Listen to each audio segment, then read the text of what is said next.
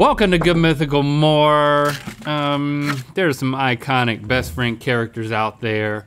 Maybe we have unknowingly patterned our friendship after one of them. Well, and you know, I often see people tweet best friend characters like this is like this is like Rhett and Link. So let's see if we see any crossover there. yeah, let's see which But ones we're closest to. Congratulations, Kitten. Hmm. Uh, Kitten got uh, $50 to mythical.com because Oh. Kitten is sporting that merchicality out in the wild. Hashtag merchicality. Listen, Kitten already had a great nature walk today, and now gets this little treat. there you go. Wow. All right, spend it wisely. You know, if you if you rep that merch out in the wild, we might find you. We might say thank you. We will find you. $50. And we will thank you. Okay, best friend characters. Now, people Yeah. often say Frog and Toad. I see that. Quite Oh, often. really? Yeah. Uh huh. I see that quite often. Okay. Is that one of them, Stevie? These are also, I, I would say, I would not limit it to characters. These are just duos Good. um, a- out in the wild. Good. You'll you'll see what I mean. We're gonna start with the character though. Bert and Ernie. okay. Classic. Um, So I mean, well, there's a tall one. people would Here's automatically one. make me uh, Bert and you Ernie You, because you of, used to have on a unibrow. Of course, so did I. uh, and now you have no eyebrows. No, actually, you know, you still do. Okay, yeah. So you're not like Ernie in that way. Um, but I'm trying to think of their. Isn't Bert grumpy? Bert's more like, mm, mm, mm, uh, uh, I can't do it. No, that's Ernie. Hmm, well, this Bert is he lower? I think Bert's is um more nasal. Bert is the is serious, studious, and tries to make sense of his friend's actions. Yeah, we don't. Well, okay, all right. So that last part, yes. And Ernie is what? Ernie is a practical, joking, extroverted dude. And he laughs like this. Yeah, I think we don't. It's not a perfect map, but it it definitely matches up better, Yeah. uh, both physically and in their characteristics. Yeah. They just need to switch sides. Ernie's they- best companion outside of Bert is Rubber Ducky. Right. And Bert has his pet pigeon, Bernice. Ooh, I love pigeons. oh, Bert is the president of the National Association of W Lovers. W lovers. He loves a good W. W Lovers. That sounds like something I'd be into. It's those two points on the bottom. Oh, unfortunately for Bert, his nose has come off of his face on a number of occasions. Maybe there's like a chin thing there. A oh. chimp thing? Chin. Bert's Oh. nose has come off. Well, I will say neither of them have a chin, so I have that in common with them. what if Bert had a really big beard? That'd be weird. Hippie Bert. Yeah, so this one's pretty good. This is this is this may be the gold standard for us. Uh, you know, I do have a special relationship with pigeons. Actually, my family does. We, we've talked about Shepard's relationship with pigeons, but did you know No. That a white pigeon visited my wife? What do you mean? Well, let me show you. Because she documented this. It is actually quite remarkable. Visited your wi- like in a dream? When you say visited, it's just like Well, you'll see. Uh, this white pigeon, uh, she said, today a, a white pigeon came and chilled by our pool, completely unafraid of me, like it owned the place. Got to be a good omen. Even if the dogs were pissed, right? So this thing, like, literally, like, hung out. Are they rare? A white pigeon? I don't know, but it, like, basically was there the whole time, and then it flew away. Like, so I think pigeons, I think the pigeon community has, uh, someone from the See? pigeon community is watching This is another mythical morning. This is another sign that you are Bert, dude. Huh. It says seeing a white pigeon is a rare event as only 1% are all white. Wow. I mean, it's not, That's it's not that rare. I mean, sometimes you see 200 pigeons on like one lady in Central Park. So two of them are going to But be I- white. Yeah, there might be a white one in there. Mm-hmm. Okay. Bert Okay. and Ernie. Bacon and eggs.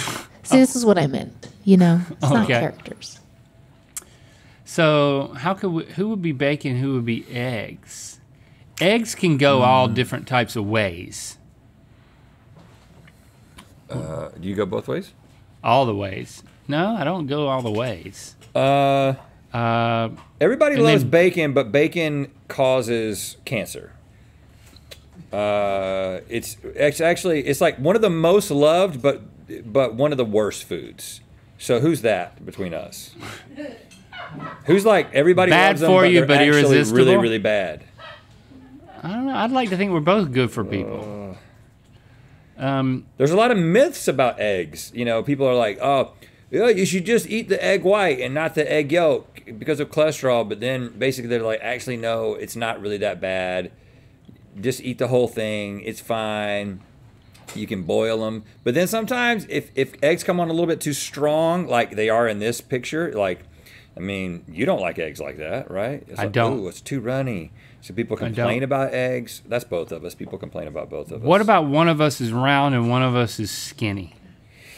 Uh, I'm well, rounder. I mean, I'm My, taller. my face is rounder. You can eat eggs every day, but you don't want to eat bacon every day. I think Link's bacon. Hey, I'll be bacon. Why? I'll be bacon I mean, because I'm a treat and I'll kill you. yeah. Too much of me will kill you. You got to have me in doses. My family's got to send me away occasionally. Uh, I think Link is bacon because if you just have bacon, you might think, I wish I had a little eggs. I wish I had a little eggs to balance this meal out, right? what are you saying? I'm If you just just- saying. if I'm just, I I'm never just saying- have eggs. I'm, uh, but you know, uh, mm, but everybody loves bacon. I mean, They're ba- but they're better together. Bacon has like societies, uh, you know, devoted to it, and people people get pictures of p- people wear bacon suits. I mean, being bacon's great. Oh, I said I'll take it- bacon. It's great. It's great. I just think that Nobody's got an egg suit. I don't love eating eggs without bacon, and I don't really love eating bacon without eggs, but I will. Hmm. I don't know. I don't want to read into it too much. I'm bacon. Okay, Miss Piggy and Kermit. Well, this is a romantic duo. Well, I mean- well, one, you know, Miss Piggy is, uh, you know, very dominant and controlling in Yeah, the and, and I relationship. pl- and I play the guitar, so uh, I think I'm Kermit. Hi ho. I think I'm just sort of doing my best, just trying to make it through the day. Hi ho. Yeah, I Don't call me ho. Yeah, I mean, I don't know. I'm not buying this one because this is a romantic relationship. This is not a friendship but, duo. but sometimes they're just friends. oh, really? I mean, sometimes they sometimes they break up. Kermit, They never. I, I'll be Miss Piggy. She's larger than life. She's vivacious. She's not. She's she doesn't apologize for who she is. Yeah, she's got some frills going on, or or uh, what, is that a boa? Yeah. You probably wear a boa to the Streamys one year. Give us three three to four Yeah. years. Give me a few more years.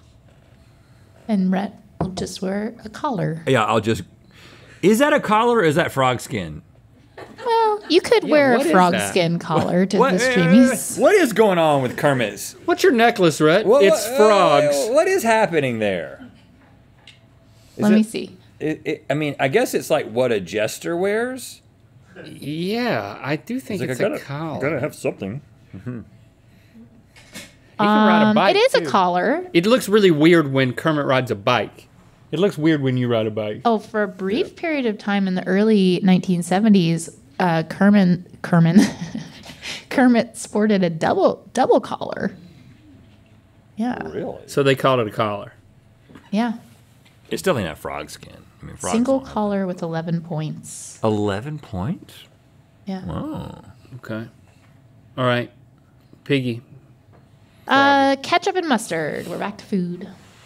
Oh, I'm definitely mustard in this situation. Um, I mean, I wear Why- why? I wear more yellow. yeah, your, your yellow's more your color. Uh, I'm less sweet. You're less sweet. Uh, Um, you can get you can get spicy. yep. You don't have to be spicy. And um, a little goes a long way. What I mean, about It depends on how much you like mustard. yeah? What about ketchup? Ketchup, it can be sweet. Um, it can. Um, what else about ketchup? It, Um, you can stick your finger ju- in it. it just likes to get all over things. Sla- it likes to be. It likes to slather all over things. Thank you, Stevie. What did you say? I said you can stick your finger in it. You can also do that with mustard. Let's be Yeah, you stick your finger. You're saying you stick your finger in me? What does that mean? Well, I mean that was that was kind of the joke. Stick your finger in me? yeah, yeah, yeah. That was sort of the joke. Oh. What what else about ketchup? Just making a statement about ketchup. and I don't know that it applies to me. Um, Kids like it. I mean, kids like it. there, yeah, Carney made a good point. There's tom- it's all, it's all tomato, so it is a little bit weird that it is link. It's all tomato. But no, but I find that if we meet like a a young like a like if we now we don't have many young fans anymore, but if we meet a fan that has a young child with them, a lot of times that child is afraid of me. Let's just be honest. right. Uh, and kids don't like mustard. It's an acquired taste, but once you start Yeah. liking it, you actually make the switch to just putting it on your hot dogs. Well, you know, again, this is not a competition. I'm just saying. I'm you know I'm just saying. This is not one or the other. This is this In is fact, both. they really work great together. Oh yeah, you twizzle twizzle them together. When you make you, an orange sauce together, that's ketchup and mustard together. you talk about tomatoes though, and my hatred for them. I more I've been impacted by one thing that I've eaten on this show more than anything. I think I'm obsessed with it, and it's so strange. I tried to give it to I had a group of friends hanging out at the house, and I had a big a pack of this stuff, and I tried to get everybody to eat it. I made everybody eat it, and everybody said it was horrible. How often does that happen when I love something and everybody else says it's gross? Um, And- yeah. Pretty often. Do you know what this is?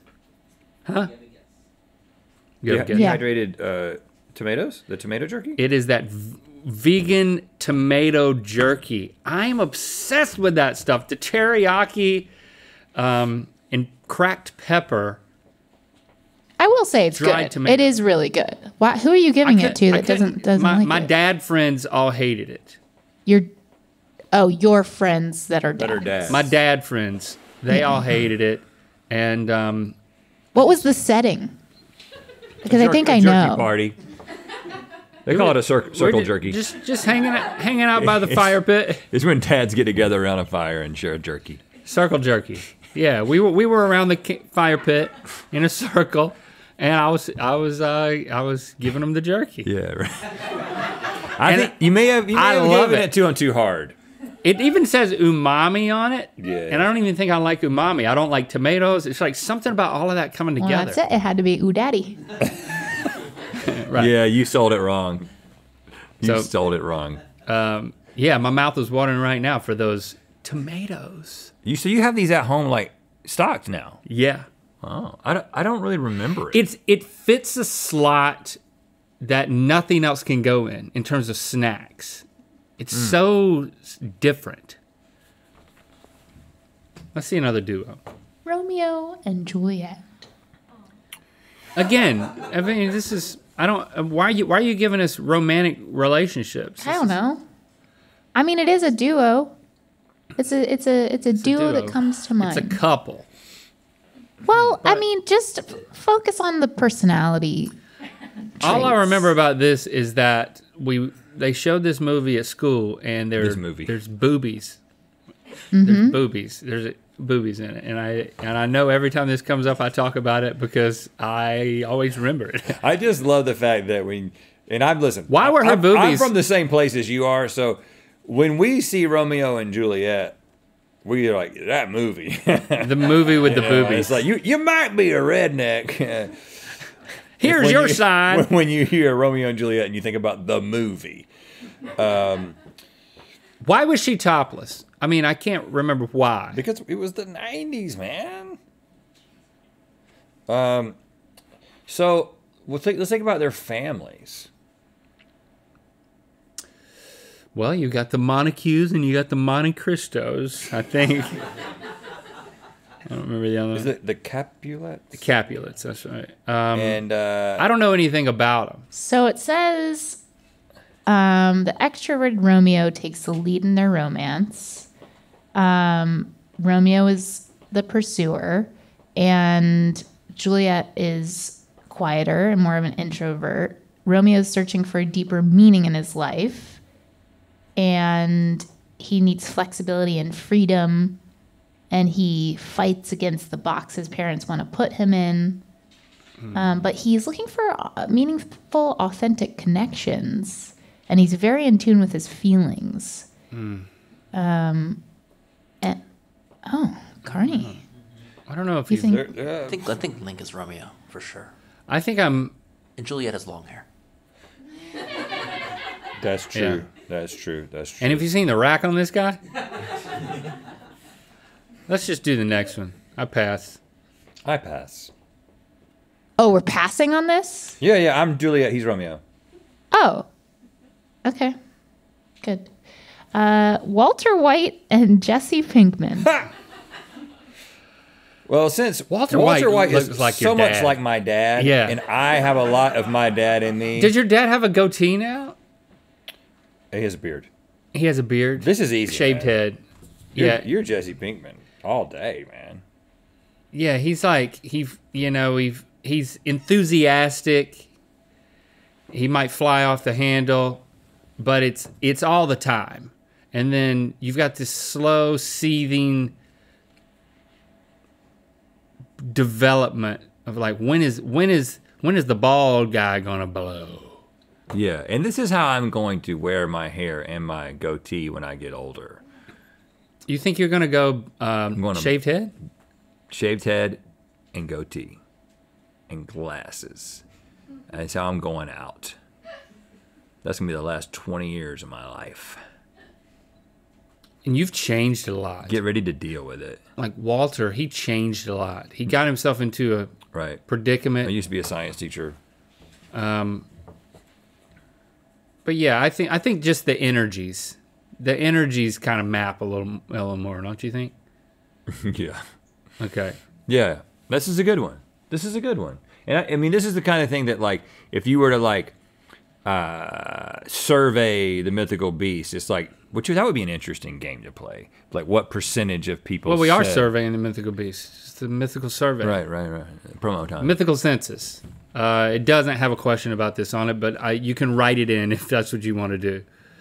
I, I don't think Walter White did he ever demonstrate a sense of humor. oh yeah. Like I can't recall him being happy. Uh, yeah, yeah. He wasn't. He he wasn't particularly happy, but he did when things were going well. He had a, a sly sense of humor. Yeah, yeah, yeah. I mean, he had some good lines. Yeah, Some one- good lines. once he really came into his own. He Once he started wearing it that fedora, But it was very dry. It was a dry humor. I'm gonna have a fedora. A dry, intimidating humor, scaring children. Right. Yeah. yeah. Okay. I'm feeling good about that one. Boy, I, I think about Breaking Bad, I'm like, I could I could watch that again.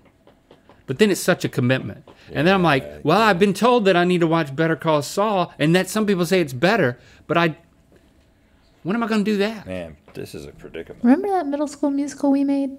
Remember that? So good. That was so good. Still surfaces. If you want to see some kids play Walter White and Jesse Pinkman, um, just search um, Breaking Bad, the middle school musical. all those kids were scared of me. Yeah, they were. Join Third Degree Quarterly or Annual by June 30th to get the My Hair Goes vinyl. Visit mythicalsociety.com.